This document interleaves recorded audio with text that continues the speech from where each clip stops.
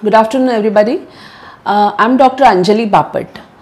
I'm a gynecologist and I practice at Mahim, Sion, as well as I'm attached to Khar Hinduja Healthcare, as well as Raheja Fortis Mahim. Now, today I'm going to tell you something about PCOS or Polycystic Ovarian Syndrome. Why am I telling you this? Is basically because in my practice I come across many young girls, say from the age group of 20 to 35 40, who complain of an irregular period. Because of the lot of information on Google as well as in the some magazines, some sites, their friends, all of them they conclude that any kind of an irregular period that they are suffering from polycystic ovary.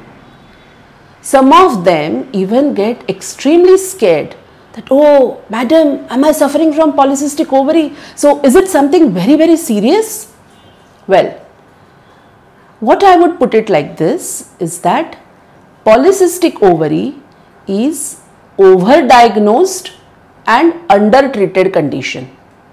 What I mean is that after doing sonography, many of the patients, it is seen that in the ovaries there are multiple cystic tiny cysts are present and hence they are labeled as polycystic ovary.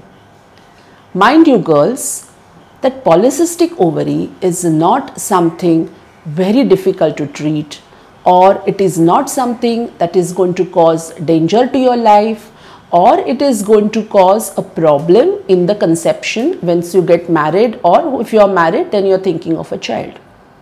It's a very easily treatable condition. Let me tell you what it is first of all.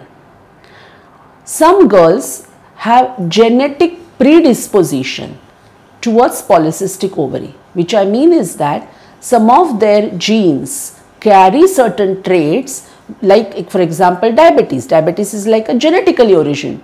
The same way these girls have their autosomes have certain genes which make them having a polycystic ovary. This particular uh, genetic trait gets exaggerated or get manifested due to various lifestyle issues that this generation is facing. Which are those issues?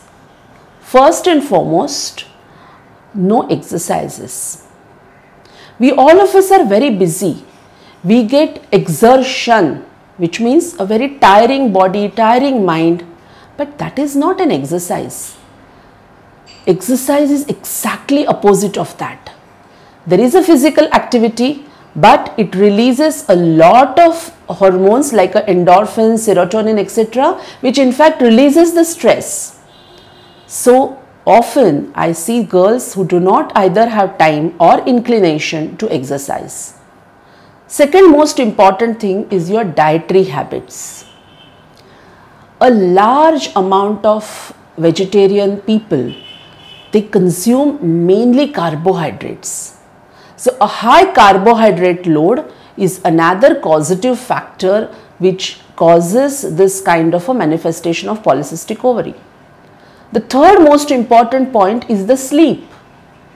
Thanks to WhatsApp, thanks to Facebook and many other net and other media, social media. Yes, we need to be active on it, but to a certain limit. Often we see that at the end of the hectic schedule, one goes off to the bed, put switches off the light, say about 12 o'clock, 12.30 and after that, on an average about an hour or so, we are glued to our screen. This flickering illuminated screen just before going off to sleep causes a hormonal imbalance. Mind you, this is the most detrimental thing. The third, the fourth most important point is the stress. What is a stress? Stress is basically any situation which we find a bit difficult to deal with how are we going to eliminate this stress from the surrounding? Unfortunately, no. The stressors are going to be plenty. What one has to learn is the response to this stress. Hence, Once all these four factors, if we can control, naturally the possibility of polycystic ovaries goes down. As far as the treatment part is concerned, I want to tell you that there is a triad. The first, it's a triangle. One apex of the triangle is a polycystic ovary. The second apex is obesity. And the third one is insulin resistance. You understand polycystic ovary, you understand obesity, that is an increase in the weight. The third one, insulin resistance is very important. What it is? Insulin resistance is the condition where the cells of our body cannot adequately use the carbohydrates that are present in the body. Hence, this high load of carbohydrates gets converted into what is slowly gets converted into a glycogen and later on into a visceral fat. So we see typically a lady who is not so fat, who is not so obese, but if we do her body composition, her muscle mass is very poor and percentage of a visceral fat is very high.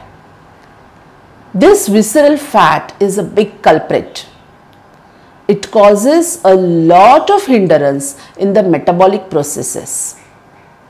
Hence, a control of an obesity, a control of an insulin resistance is absolutely mandatory for the control of polycystic ovary. It's a triad. One is dependent on the other. What I mean is that obesity causes insulin resistance, insulin resistance causes PCOS and vice versa. So, it's a bi double-ended arrows for that triangle. When polycystic ovaries are also having a signs of what is called as a hyperandrogenism. That means the receptors for the androgens on the hair, facial hair, on the scalp hair or on various skin is very sensitive to the androgens that are present in the body. And this causes excessive hair growth on the body parts or a thinning of the scalp hair, which is a male pattern of thinning. When such kind of a, such things are seen, symptoms are seen, at that time certainly a medication is required from the endocrinologist or from the gynecologist. But mind you, what I see the PCOS girls that I, that I see, a large percentage is the beginners of this PCOS problem. So, with a minimal amount of a medication and most important lifestyle changes, one can keep it under control. But if you are having a flared up polycystic ovaries, don't worry. It does not usually cause a problem in the conception. And if the problem occurs, various assisted reproductive technologies can take care of it. So, to conclude, polycystic ovary is the problem of present generation. To control it, there are means there are methods and you have to use it properly and scientifically. For any of your gynecological or obstetric queries, you can definitely contact me, take my appointment on Lybrate and I'll be most happy to help you. Thank you so much.